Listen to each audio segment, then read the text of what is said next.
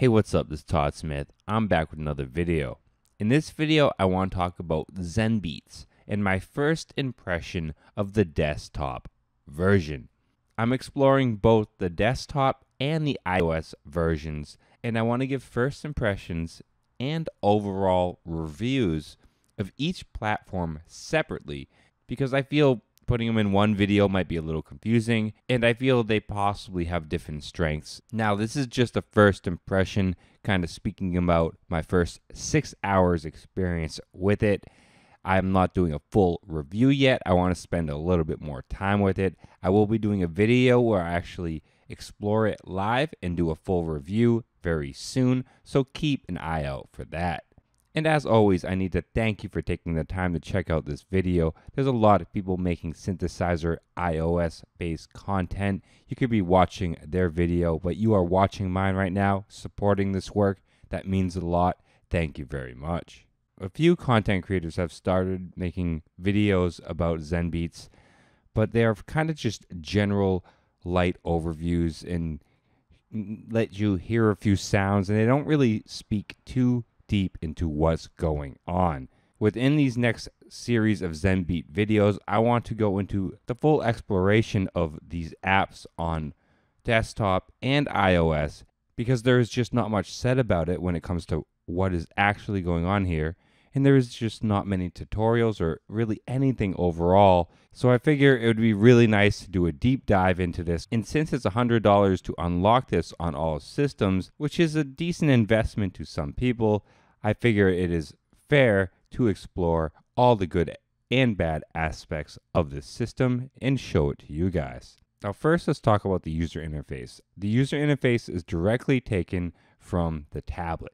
That is something that might throw some people off right away. And at first, it really felt kind of awkward. But I have to say, after learning kind of how it works, and even with the minor full screen mode it has, it really doesn't feel too bad on the desktop. Not as bad as I thought it would be, because the way the whole interface works is 100% replicant of how a tablet works, so you can't really stretch things out like you would do in Ableton within certain sections. But honestly, overall, I'm pretty impressed that the interface wasn't really that big of a hassle after I'd say about 45 minutes of getting used to how everything works within the interface on the desktop that is something not everyone might agree with, but that is just my opinion. Then, when it came to the sequencer, I was pretty impressed. It acts a lot like you would expect a Roland hardware sequencer to. I would say exactly like you would expect a vintage or classic Roland sequencer to work. It has all the ins and outs of a sequencer you'd want with your metronome, with your various timings. You can really stretch it out to really long sequences. You have various phases that you can make. The editing and recording process is pretty fluid and pretty easy to do. You can turn on and off the lock to grid. You just really have a lot of options there and it feels really nice to use. Now, I did not unlock the desktop version, which is $50 if you want to unlock it fully on the desktop. This unlocks more sample packs and I think more synths and the ability to use VST instruments within this ecosystem. So I could only try out the bare bone synthesizers they give you within the free system, and I will say they are not really super impressive.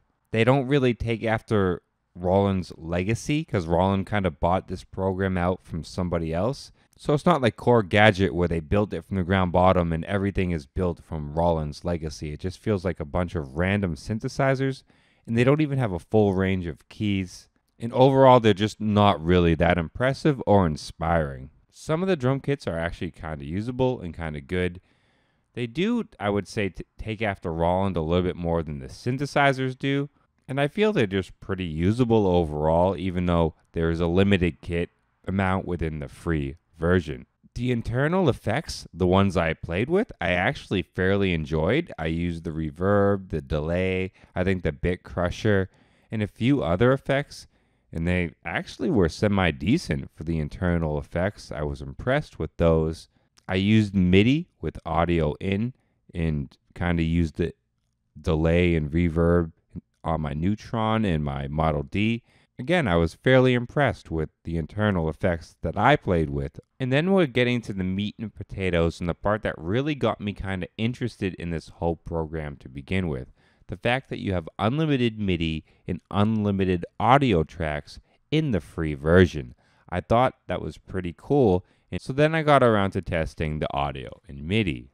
I hooked up my audio interface into the computer, which was the Focusrite 18i8, and audio worked perfectly fine. I had three instruments going. I could multi track them great. I could monitor all the tracks at one time, so I could actually record multiple tracks at once. And actually, the process of recording live audio into Roland Zenbeats was actually a pretty fluid process. I did check out the export option, though I didn't test it fully. I got all the way to pretty much the very last page, and you can send it to Dropbox and various options like that if you want to export a wave. And to me, it looked like that whole process was working correctly. So then I took the time to focus on, again, another important aspect, which was the MIDI. And this is where I hit the road bump. I actually got to the point where I could play multiple MIDI tracks and I could get MIDI track one and two to actually work on the internal keyboard within Zenbeats. Everything else was working great with the MIDI out. I was able to play multiple parts live at the same time with my MIDI keyboard and splitting the zones, you know, the various MIDI channels one, two, three, four, whatever I wanted. But once I laid down the MIDI data, no matter what MIDI channel was, no matter what setting I did, it always sent it to MIDI channel one. And I just could not figure that out. And it advertises it as having unlimited audio and unlimited MIDI tracks. And so you're going to assume you're going to be able to do this if you buy it. And as of right now, that is something I have not been able to do. But that was a huge, huge snag because to me, the strongest selling point to this was a free unlimited audio, unlimited MIDI possibility across all platforms.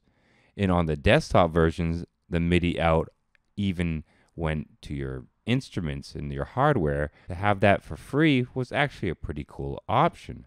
And then once the internal effects were semi decent, I got even more excited. And I could, for the life of me, could not figure it out. I will spend more time on this because there is actually some good aspects to this program if you played with Zen Beats on the desktop and you've tried to send MIDI out to multiple instruments and you've done it successfully on multiple MIDI channels, please let me know what you did because I, for the like of me, couldn't figure it out and I'd love to know. Other than that, I'm going to kind of keep exploring this because, like I said, if the, I can get that working, this this is actually a fairly decent program for a free program on a sequencer slash recorder and keep an eye out for my iPad Zenbeats first impression in the next couple days. That one I did unlock. It was only $15. You got access to external plugins that were compatible within the iOS ecosystem.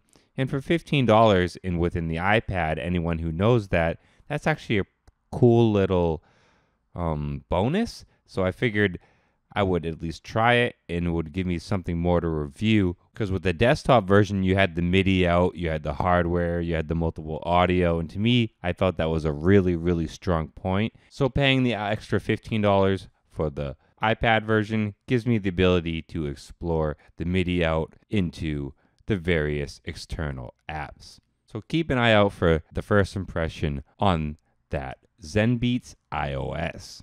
I hope you guys enjoyed my first impression on the Zenbeats desktop.